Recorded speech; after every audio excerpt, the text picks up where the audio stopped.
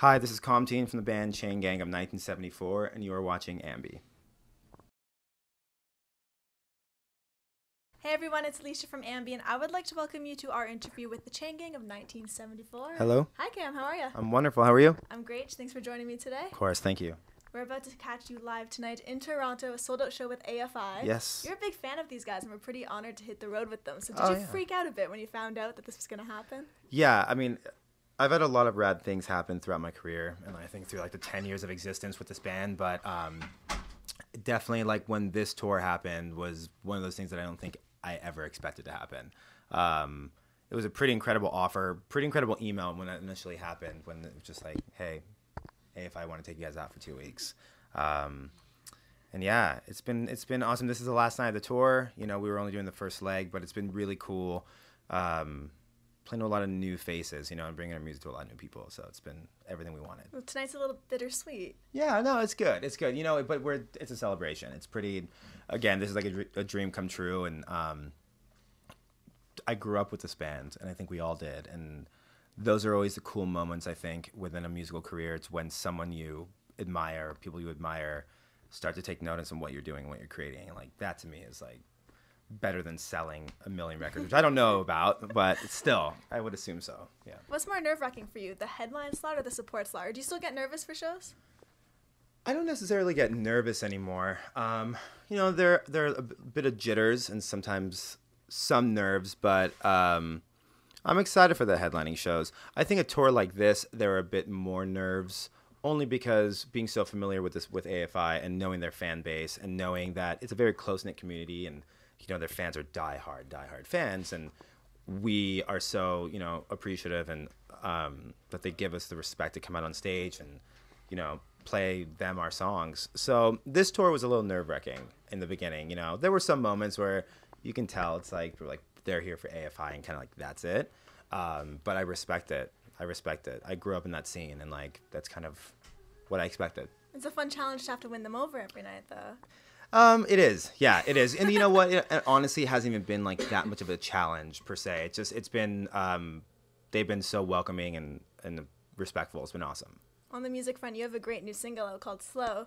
Thank for you. me, I'm really digging the video because right away I noticed that's Tears for Fears. There's a cameo from Kurt in it. Yeah, yeah, yeah. And you love a lot of new wave bands. yeah. Tears for Fears are a big influence on you. So you must have just completely geeked out. That was um, that was pretty incredible. And you know, I've been asked that question recently, and I still and my answer is my answer to it is always um, I still haven't really wrapped my head around it yet, and I have to stop and think like, holy shit, like Kurt Smith from Tears for Fears is like said yes, like I want to be in this video, like I love the song, I want to be a part of this. Um, so it was pretty incredible. The the directors we worked with, um, Ride or Cry, the production team, they have had relationships with. Uh, uh, they had a relationship with Tears for Fears um, from a social media standpoint, I believe.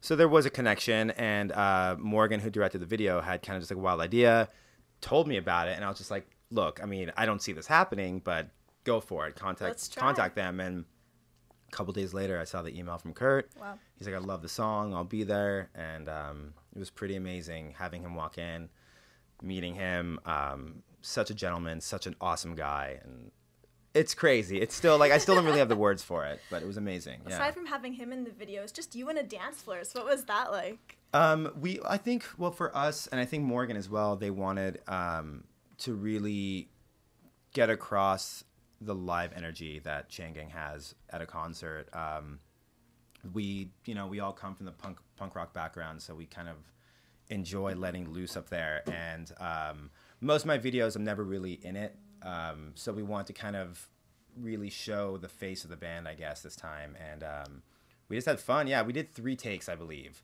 and we like the third one was kind of like the one, which was awesome. So we did one day of filming of kind of the the projection shots, and then um, the second day was just the one shot takes. We did we did three times, I think, but the third time was Third like time's a charm. third time was like, okay, cool. I'm gonna go into this. I remember what I did last time. I'm gonna kind of just like let's just do it. And then uh, Kurt came in, shot his part. We just like quickly within 30 minutes turned that into a projection, and then like did it all. So it was like it was it was pretty rad how it was done, and it was quick and awesome and easy, and I loved it. Well, from this tour, I have a couple of tweets that you sent out that I would love to hear the story behind. Oh, okay. So the first one God, is I'm I'm for, I forgot what I tweeted to say this. this will be a fun little reminder. The first one that you tweeted and sent out was I still look up at the stars every night and dream of seeing a UFO. Do you believe in aliens? I do, yes. Okay. Uh, I'm a big fan of all that stuff. I'm obsessed with X Files. Um, and I, yeah, I, I really want to find proof. I, I would love to just see that. Be incredible. What would you do if you just happened to encounter something? I'd probably like freak that? out. Would you? I mean, I'd probably freak out, but I definitely do believe in it. I definitely do believe that. I mean, there has to be other life forms out there. Like, you know, to what capacity, who knows? But with all that space, there has to be something. So.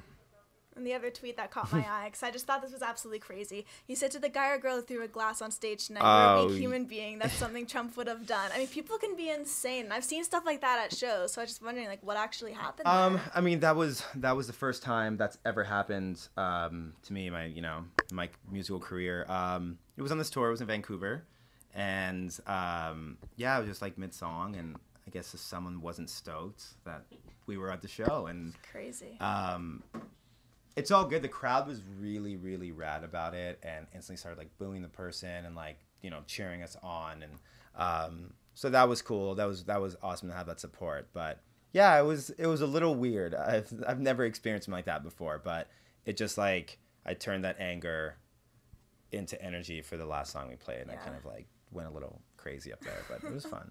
It's amazing that the fans, especially like I can imagine with the AFI crowd, Well, that's what they I'm would saying. totally be like, Dude, Yeah. that, that doesn't fly. Exactly, exactly. Um, so it's, it's kind of interesting that that person chose to take that action because I don't think it's really acceptable within that AFI fan base. But it is what it is, you know. I'm, I maybe lost a little bit of sleep over it, but I feel good.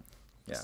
To wrap things up, I want to leave it on all of your amazing fans. Is there anything that you want to leave with all of them who will be viewing? Um, new record is out is coming out very soon. Exciting time.